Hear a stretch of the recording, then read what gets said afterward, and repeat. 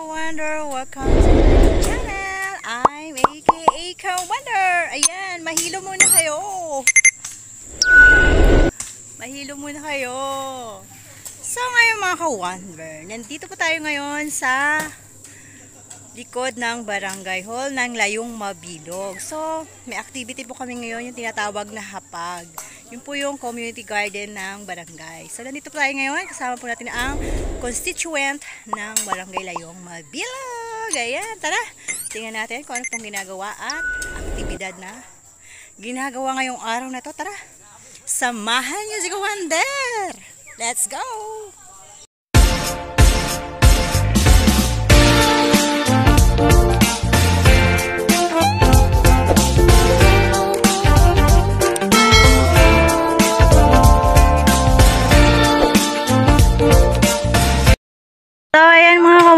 Nandito na tayo ngayon. Ito po yung likod ng, ayun na yun ang barangay hall. Ayan po, ayan, nandito po tayo ngayon sa likod ng barangay hall at may nagaganap po dito. Ayan, nakita niyo po yung nakatalikod na yan. Yan po ang aming punong barangay. Kapitan Rolando Di Ange. Ayan po, Kap. Magandang umaga po. Ayan po tayo ngayon.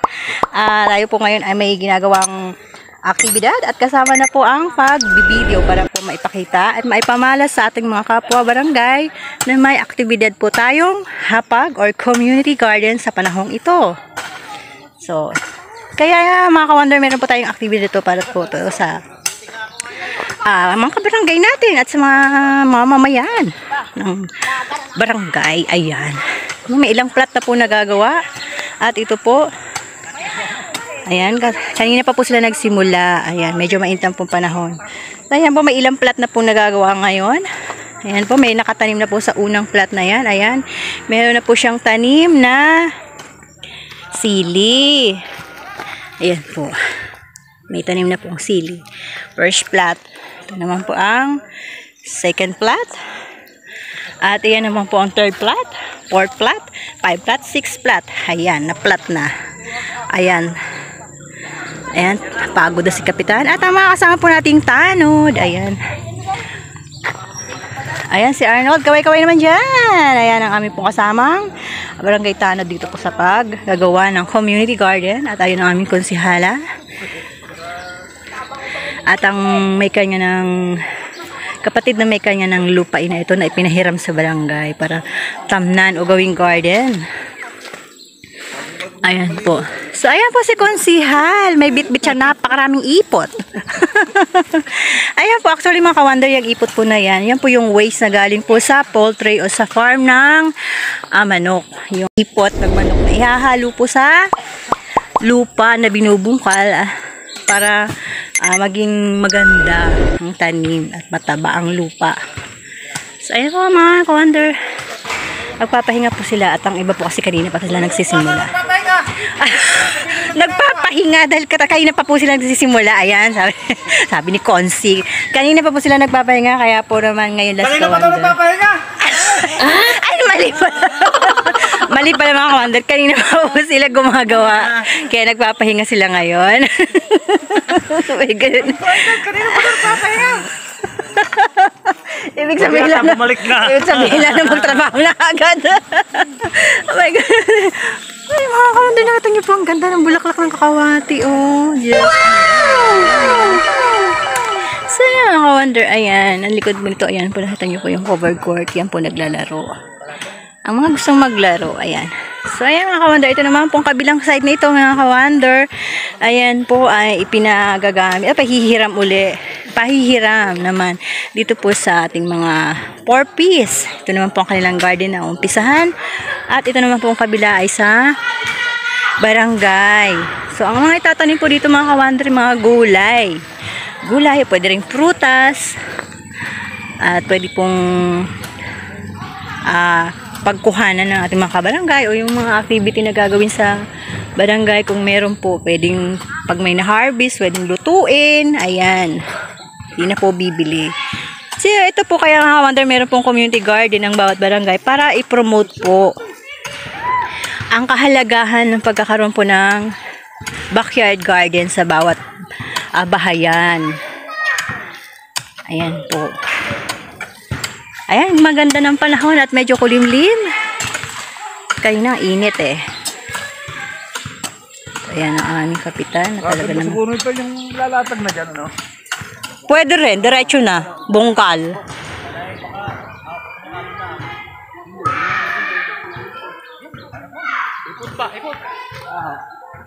Lalatag na ipot? Lalatag, Tapos kotsoy. Pwede na, oh. Kasi pag nasa ibabaw, ila- din naman eh, para mapailalim yung ano, ipot. Ayun mga ka-wonder, yan po yung ipot na galing po sa poultry farm na ay ah, binigay po sa barangay para po gumanda yung lupa o fertilizer sa lupa na rin po. Gumanda yung tanim. Ah, i, nagsasuggest po yung aming kagawad na kung pwede ilalatag na lang para habang nagbubungkal kasama na rin sa lupang yung paghahalo ng ipot habang binubungkal yung lupa.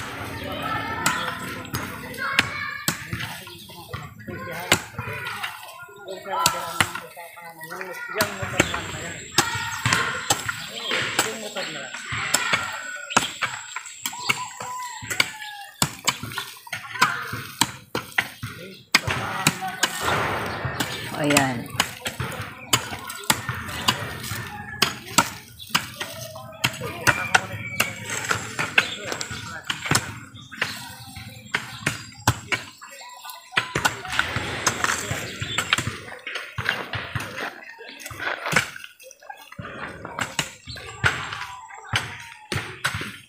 So yan mga ka-wonder, ito po yung waste or ipot na galing sa poultry farm, na galing sa ah, manukan. Kasi hahalo po yan sa lupa, ayan. Ihalo para mapailalim yung ano, yung dumi ng manok para tumaba yung lupa.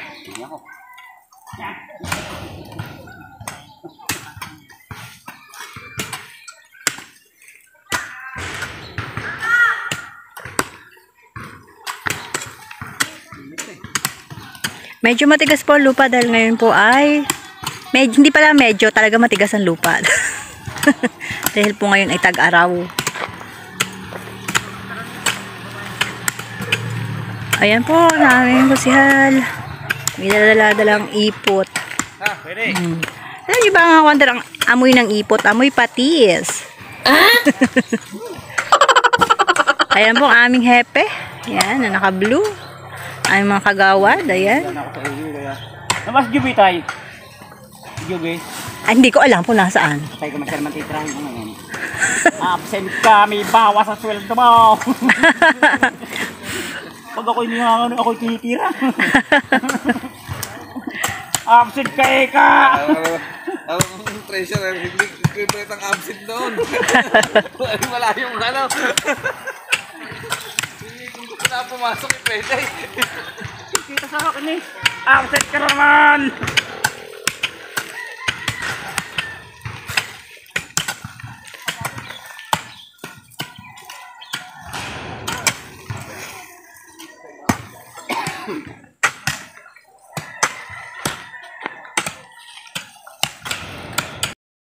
So, yun mga ka-wonder. Ano ba to?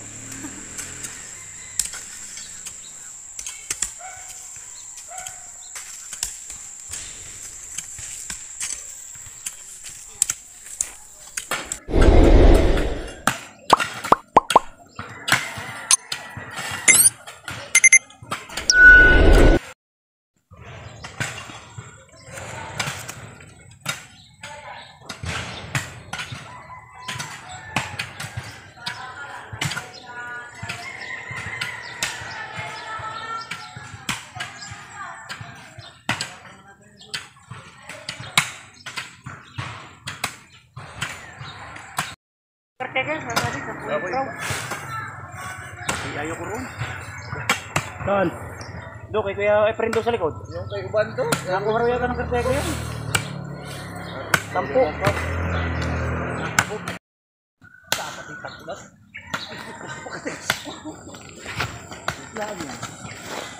Trabaho talaga din. Magdidilig dapat rin talaga ng mga nag-YouTube pag itak ko rito. Magbago, mag-love na hapon, dilig.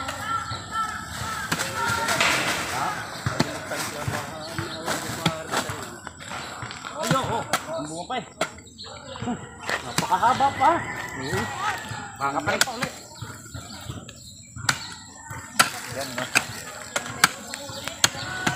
Yung patabang yun eh. Mamaya na muna, mamaya na. Bago itanim daw o pagkatanim na. Yan, nasa silang yun. Arihurin niya ang kuwan, latag. Sabay na. Sabog. Hindi, ariho sa sa Ako iwag mo na ilagay lahat dito eh. Lalagay mo ang gilid. Ang pinakapuno. Ah, wala ko namang yung dosing. May edad na naman yata yung siling yan, yan ha. May edad na, sili. Oo.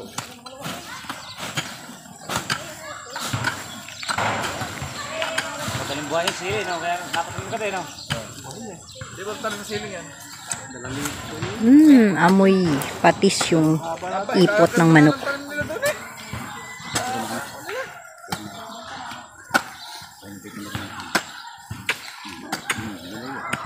Lumayo pa.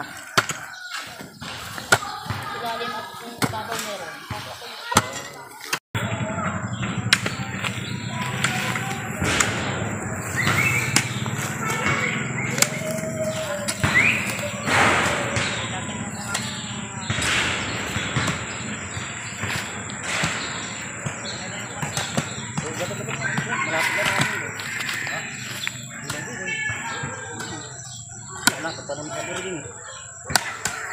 Tama, ito ito naman dyan.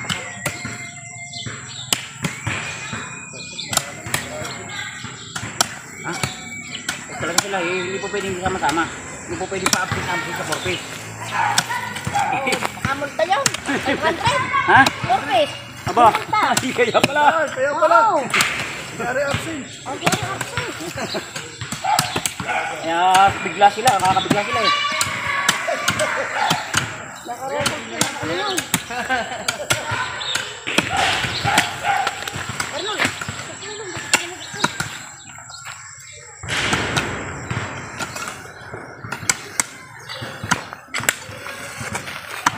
Napakanibaran din ang sarol. Nakita mo lang bigla naman. Ha? Hindi, si Arnold, dinagawa ko si Arnold pagdating ko. At kako ako yung kalawang silang.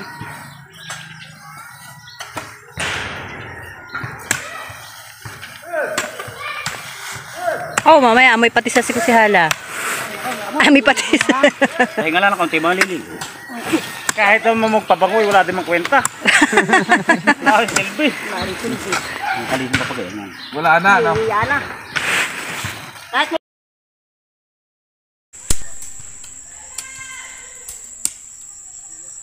So, ito mga ka-wonder yung napier na ito. Ayan, nakita niyo pa yung damo na yan.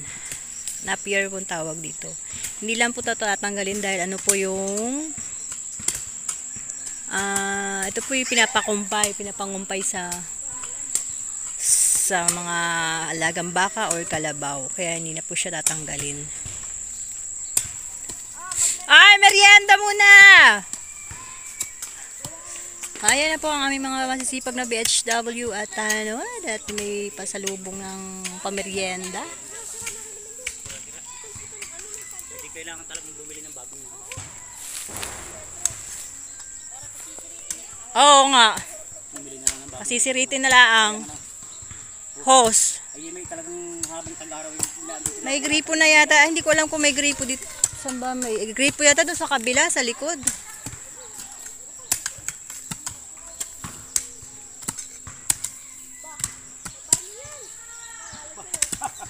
Ay, baka lang, langgamin. Ngayon naman, lumilom.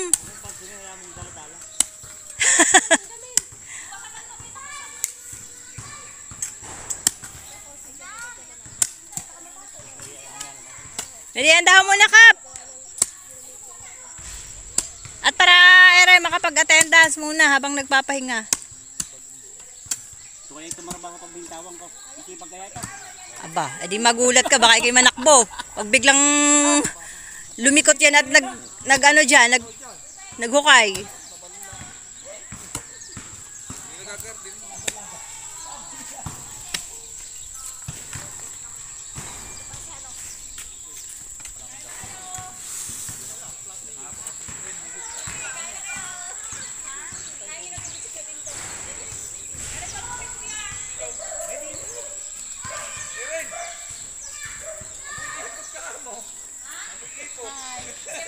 Ayan, ang aming kagawad na super duper, ano rin, kung magbuhat ng isang sakong ipot. si Ate Belen Python. At merienda mo muna. Ay, marami lalagay sa stick yan. Oo nga. So, ayan, pag may tanim na to dito, maganda na.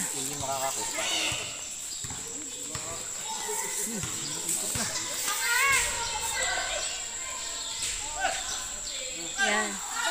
Saan ba galing ang turon na yan? Turon. Sino nagdala? Eh, konsyala. Ah, ah, baka mata, baka gumulong. baka maho. Ayan, merienda mo na. Tingnan ko na kung Kap! Eh, merienda mo na. paano pag itilig niyan? Eh di yun nga, nagbagre-request ng host. Ano kap? May gripo na doon sa likod eh. Magat hapon ang dilig. Ano? Oo, magat hapon para sumibol agad. Kung sino duty, pag tulong-tulungan mag ano, magdilig. Oo, hindi. Kahit naman ako pwede pagka ano.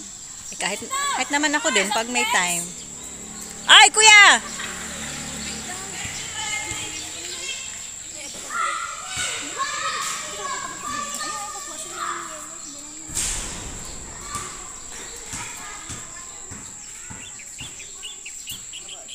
Merienda muna, Kap.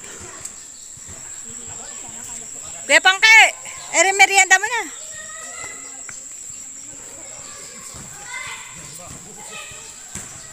So, ayan, ang merienda muna tayo mga kawander. Ayan po, meron po tayong saging na saba at turon. O, ha? Guys, sa punta ba? Ay, ipangke! Kuya Pangke, merienda muna. Balik ka na. So, ayan mga kawander, papahinga muna ang ating mga kasama at merienda po muna tayo. Kahit wala pa akong nagagawa. Kung si Alian! Merienda mo na.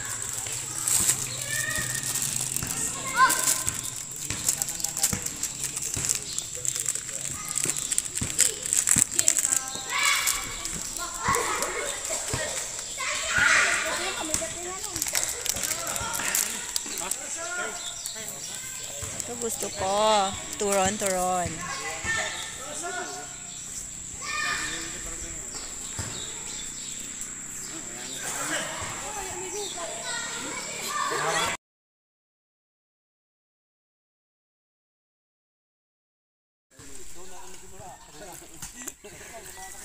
Anong tawag dyan, Konsi? Dito, sa ano na to? Ito po yung vermicast. Pampataba. Organic patibayan. eh. Ah, Walang organ. dosage- Walang dosage yan. Ayun, organic na pampataba ng lupa. Ah, hindi kagaya ng mga commercial. Mm. Yan, lalagay po ni Consial Ian na ganun yung vermicast po na organic na pampataba ng lupa para mas lalong gumanda yung tanim nating gulay. Yan. At ayun iba pong plat meron na po. Ayun. Hinahalo na po ng ating kasamang tanod. Bago uli hahaluin, hahaluin yan. eh. O, haluin pa rin. Hahaluin.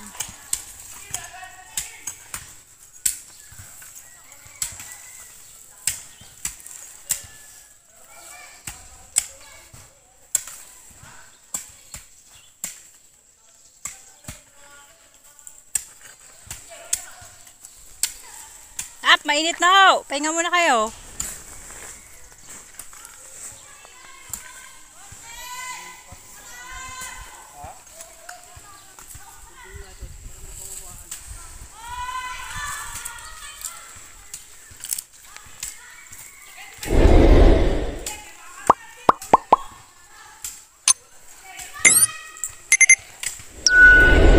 Siya siya nakakakuha ng vermicast yan by binili nyo o bigay sa atin ng ano, galing DA. Ah, ayun po, galing po pala sa DA yung vermicast na yun na. Oh, yun, yun nakapag-request po pala si Kunsyal ng ano, vermicast sa Department of Agriculture sa Mm kasama ng ilang binhi na napabigay sa barangay galing sa DA. Mabuti naman at meron tayong ihalo na agad bago naka- makakapagtanim ng halaman o gulay dito.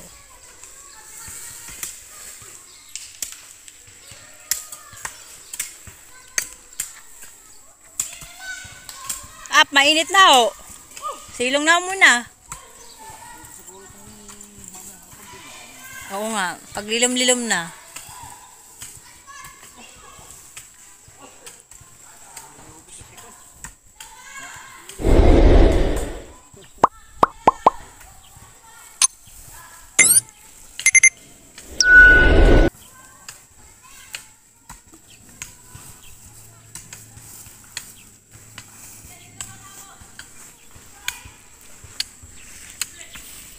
So, ayan po, meron na siyang vermicast. Tapos yung ipot kanina na nilagyan. Hahaluin na lang po ito.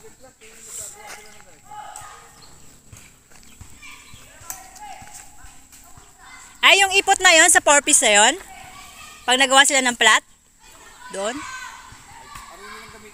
Ah, yun nga, di. Meron pa? Oo, para, para si magagandang tanim natin. Tsaka yung kanila rin. Ilan sako yun sa 4 piece? Ah, oo.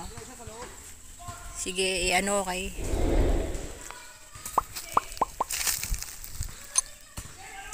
So, ayan, may natira pong ilang sako ng ipot. Yung waste po galing sa poultry farm. Para naman po sa ating mga porpies. Dahil may garden din po sila dito. Ayan, may garden din silang gagawin dyan.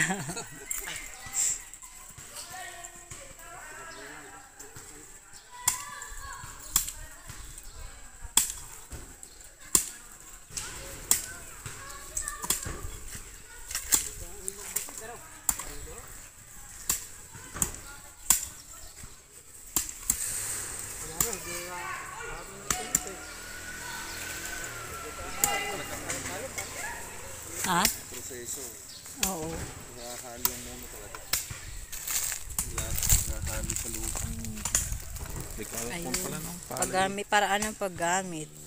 Sampu hanggang sa kada hektarya. Ah, sampung piraso pala. Kada hektarya. Eh, halo sa lupang taniman bago magtanim. Basa. Ano yun? Basal. Basal. Ah.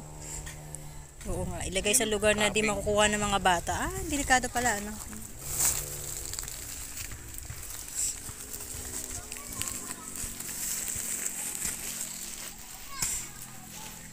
So, yun mga ka-wonder, yung kabilang bahagi nito ay sa 4-piece naman po yan. 4-piece garden.